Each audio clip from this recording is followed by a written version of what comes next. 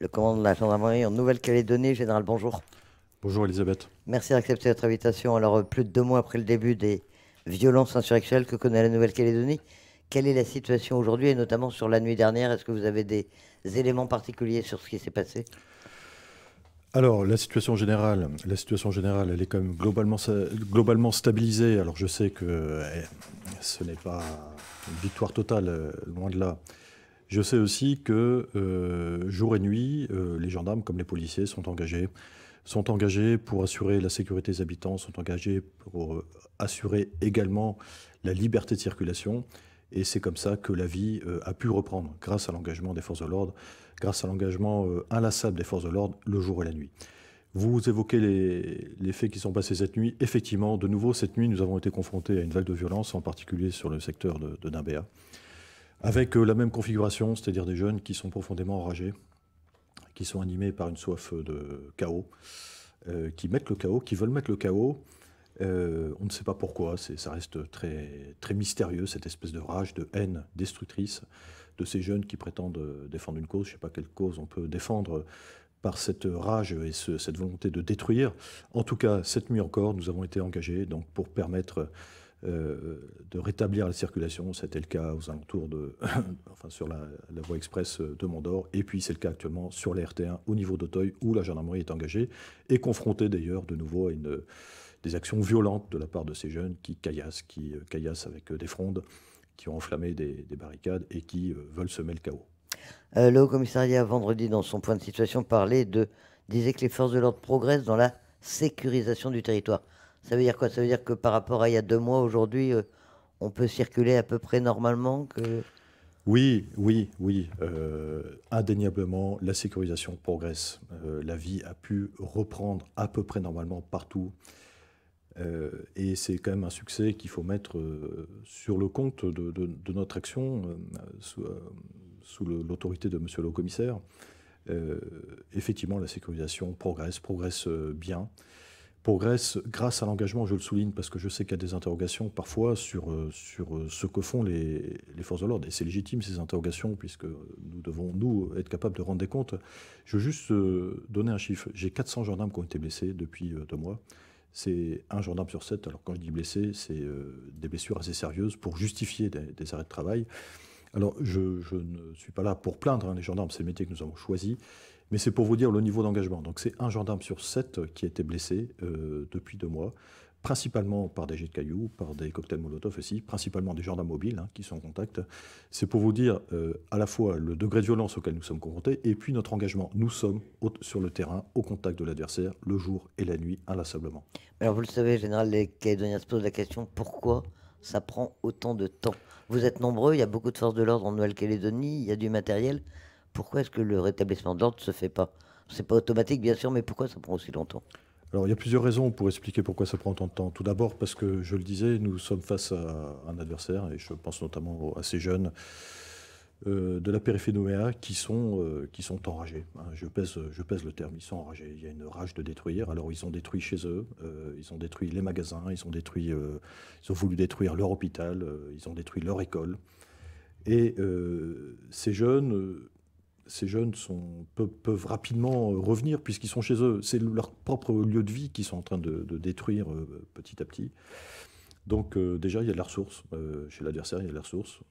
deuxièmement, il faut souligner les, milliers de tonnes de gravats, de détritus en tout genre que nous avons, que nous avons dû déblayer. Hein, parce que dans cette rage de détruire, de bloquer, d'entraver, de casser, euh, il y avait un nombre considérable de déchets qui, et ça a demandé beaucoup de temps. Hein, et c'est pas la vocation première euh, des gendarmes d'être des déblayeurs, mais il a fallu le faire pour assurer euh, la restauration de, la liberté de circulation.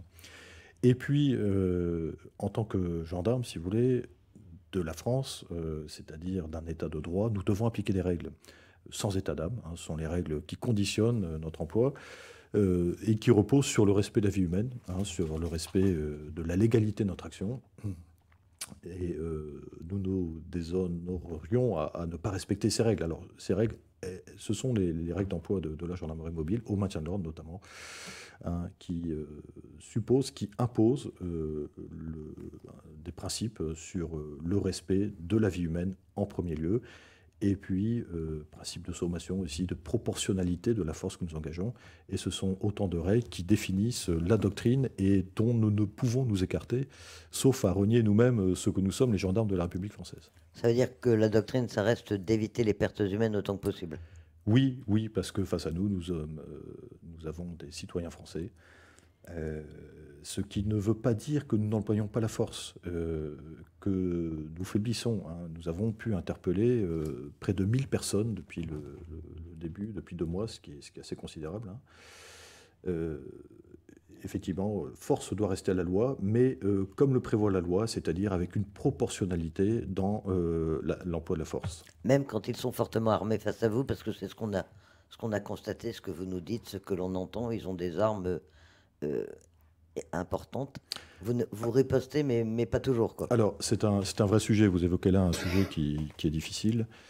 Euh, nous avons dû euh, tuer quatre personnes depuis deux mois. Voilà. Dans la mesure où les conditions de la légitime défense, qui sont très précisément définies dans le code pénal, étaient respectées. Et chaque militaire de la gendarmerie est responsable devant la loi de ces actes, il est hors de question pour un gendarme de s'écarter de ce cadre très précis de l'usage des armes. Il est hors de question pour moi, le chef des gendarmes, euh, de transiger avec ces règles qui s'appliquent à moi, mais qui, aussi bien qu'à mes gendarmes. Donc, lorsque les conditions de la légitime défense sont remplies, euh, nous n'avons aucun scrupule à faire usage de notre arme. C'est un devoir. Euh, c'est aussi un devoir de respecter strictement le cadre. Voilà. Alors maintenant, plusieurs fois, euh, un nombre incalculable de fois, nous avons été pris à partie par euh, des armes à feu. Nous n'étions pas en mesure de riposter avec des armes létales. Nous avons riposté avec ce qu'on appelle des moyens de force intermédiaire, des grenades. Nous n'étions pas en mesure de riposter avec des armes létales. Pourquoi? Parce que euh, nous n'avions pas clairement identifié celui qui nous a tiré dessus, qui bien souvent, et je le souligne, se cachait parmi des femmes et des enfants pour éviter justement ce type de riposte. La tactique des boucliers humains dont on parle, qu'on voit qu'on voit par ailleurs. Alors oui, je, l'ai vu, je l'ai vu, hein, des, gens euh, qui nous tirent dessus et qui n'ont aucun scrupule à mettre euh, en danger euh, ben, leur, leur famille parfois. Hein. On, nous a tiré dessus de, maisons et dans ces maisons, il y avait des femmes, il y a des enfants, dans le jardin. Voilà, ce qui, alors, d'une part, nous empêchait de, clairement identifier l'auteur du tir, et d'autre part, exposer des innocents à des, des, dommages. Et donc, nous ne sommes plus dans ce cas-là dans le cadre de légitime défense les renforts matériels que vous avez reçus à des centaures notamment, est-ce que ça peut changer la donne? Est-ce que ça vous permet d'être plus, plus opérationnel, mieux défendu? Oui, alors ça changera la donne. Il y a notre détermination absolue, inlassable. Il y a euh, notre volume, 2650 euh, gendarmes engagés ici en Nouvelle-Calédonie. Et puis il y a effectivement euh, du matériel avec l'arrivée de 16 centaures sur les territoire calédonien. Moi, je n'ai aucun doute sur euh, le fait que nous ayons le dernier mot. Hein. Force restera la loi, comme sur tous les territoires de la République. Ça prendra du temps. Euh, ça prend du temps pour les raisons que vous avez évoquées. Ça prend du temps aussi parce que nous n'avons pas que le Grand Nouméa. Il y a aussi des points chauds, euh, c'est Poya, Thio, où nous devons être très vigilants. Hein. Je rappelle également que les trois communes de la côte ouest, Boulou-Paris, La Foi et Borail, ont été à un moment menacées, menacées par des bandes qui venaient de la côte est et qu'il a fallu résister. Il a fallu les repousser euh, à l'intérieur et les renvoyer chez eux. Euh, nous avons la, ville de Kwawa aussi qui a été euh, soumise à une pression adverse très très forte hein, avec des exactions. Donc je n'ai aucun doute sur notre victoire finale. Ça prend du temps, ça prend du temps parce que le maintien de l'ordre prend du temps, parce que le rétablissement de l'ordre prend du temps. face à, cette adversité qui, qui est forte, face à cette jeunesse aussi du Grand Nouméa qui est enragée et déterminée. Euh, et, puis, parce que le territoire est grand et qu'il y a plusieurs points chauds. Alors parmi les points chauds, il y a le, Mont d'Or, enfin Saint-Louis plus précisément. Euh, la semaine dernière, les forces de gendarmerie sont intervenues. On en est où aujourd'hui et quand la circulation va pouvoir être possible, va être rétablie complètement, notamment pour les, les habitants du Mont d'Or Sud? Alors comme beaucoup, je suis scandalisé par ce qui peut se passer euh, au niveau de sur cet axe qui longe, euh, qui traverse la tribu. Je suis euh, scandalisé, choqué. je suis, je comprends complètement la colère de la part des habitants du, sud de cette commune et, je la partage. nous faisons le maximum pour sécuriser cet axe et je vous garantis que c'est extrêmement compliqué. Il y a eu des avancées, euh, je l'avais souligné la semaine dernière, malheureusement elles n'ont pas été suivies des faits. la conclusion qui s'est imposée à nous ce week-end, c'est que les usagers étaient toujours en danger, danger de se faire voler leur véhicule violemment par des jeunes qui sortent des fourrés de la tribu et on ne peut pas mettre un gendarme tous les mètres sur cet axe qui fait plusieurs kilomètres. Danger mortel aussi parce que les gendarmes qui sécurisaient les usagers faisaient l'objet de tirs, de tirs avec des armes de gros calibre et euh, moi, j'ai considéré que j'exposais la vie d'innocents euh, en maintenant euh, ces convois. Donc voilà, à un moment, il a fallu, il a fallu malheureusement couper la route parce que nous étions face à une, non pas agressivité ni hostilité, mais une espèce de haine, hein, une volonté de, tuer hein, de la part de certains qui étaient effectivement en embuscade dans les forêts. Alors ces derniers jours, on a assisté aussi à la destruction de l'église de la Mission de Saint-Louis, mais aussi à, l'incendie de l'église de Vao, du presbytère de l'église de Thio. Est-ce que les, est-ce qu'on vous, comprenez cette escalade et est-ce que les églises vont être aujourd'hui des lieux particulièrement euh, doivent être des lieux particulièrement protégés? Bien sûr que je ne comprends pas cette, cette espèce d'escalade et je crois que quand on s'en prend au patrimoine religieux de la Nouvelle-Calédonie, euh, on s'en prend à toute la Calédonie et à tous les Calédoniens, quelle que soit leur origine. Euh, c'est un scandale. Ça montre aussi, et c'est ce que je disais tout à l'heure, euh, c'est ce que je disais tout à l'heure, je crois que nous sommes confrontés à des jeunes qui ont perdu absolument tout repère, qui pensent que la violence va apporter une solution à une espèce de mal-être existentiel. Bon. Mais qu'on arrive à brûler des églises, qui sont euh, le patrimoine de la Nouvelle-Calédonie, qui sont l'histoire de la Nouvelle-Calédonie, euh, qui ont été construits par les vieux, qui ont été construits par une population qui avait à cœur de, faire cette, œuvre collective, c'est absolument scandaleux, c'est horrible, c'est insoutenable. Ça montre bien aussi le degré de chaos, de violence aveugle dans lequel certains se sont enfermés. Je trouve que c'est inquiétant.